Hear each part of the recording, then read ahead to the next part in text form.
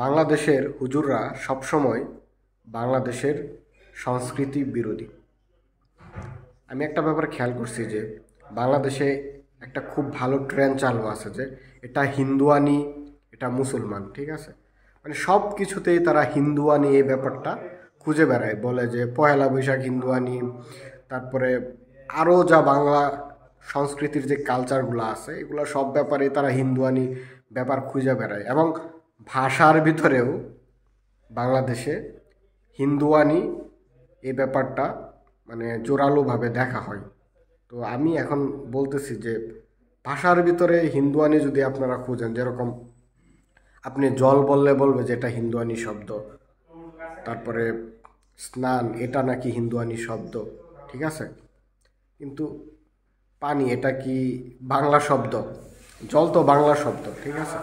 এখন আপনি যদি বাংলা ভাষার ইতিহাস পড়েন, তাহলে খুব স্পষ্টভাবে আপনি জানতে পারবেন যে বাংলা ভাষারটা আসছে কীভাবে। সংস্কৃত এবং নানান শব্দ থেকে পর্যায়ক্রমে ধাপে ধাপে ধাপে ধাপে বাংলা ভাষাটা তৈরি হয়েছে। অর্থাৎ বলা যায় যে ওই যে কথিত আপনারা যারা বলেন যে হিন্দুয়ানি, ওই হিন্দুয়ানি ভাষা থেকেই আধুনিক বাংলা ভাষার উদ্ভাবন হয়েছে। আপনি যদি হুমায়ুন আজাদের লাল নীল দীপাবলি বইটা পড়েন, ওখানে সংক্ষেপে সহজে আপনি বাংলা ভাষার ইতিহাস সম্বন্ধে জানতে পারবেন। এখন সে হিসাবে আপনার যুক্তিতে বলা যায় যে বাংলা ভাষাও একটা হিন্দুয়ানি ভাষা, ঠিক আছে?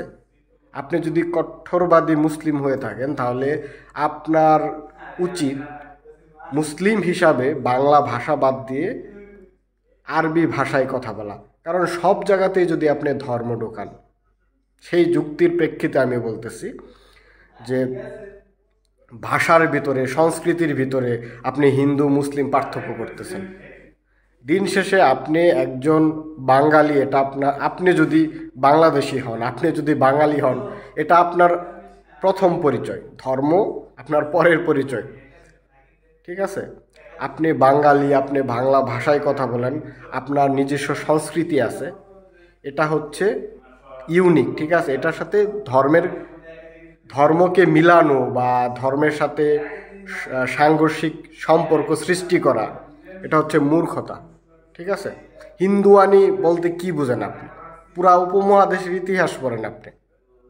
আপনি কি বলতেছেন? বাংলা ভাষার ইতিহাস পড়েন। বাংলা ভাষা কোথা থেকে আসছে ভাই? বাংলা ভাষা তো ওই হিন্দুয়ানি কালচার থেকে আসছে। শাড়ি কোথা থেকে আসছে?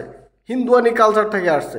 ভাত, মাছ যে আপনি তরকারি রান্না করে খান, এটাও তো হিন্দুয়ানি কালচার থেকে আসছে। বাঙালি সংস্কৃতিটা কোথা থেকে আসছে? আপনি যদি মুসলমান সংস্কৃতি খুঁজেন, সৌদি সংস্কৃতি খুঁজেন, তাহলে আপনার কোথায় যাইতে হবে? সৌদি আরবে যেতে হবে, ঠিক আছে? আপনি ইসলামিক, মুসলিম সংস্কৃতি খুঁজতে হলে ভাত খাওয়া বাদ দিয়ে কাল থেকে রুটি খান, ঠিক আছে? খেজুর খান সো এগুলা নিয়ে মানে ধর্ম নিয়ে বাড়াবাড়ি আপনারা সব জায়গাতেই করেন, ক্ষুদ্র ক্ষুদ্র ব্যাপার নিয়ে।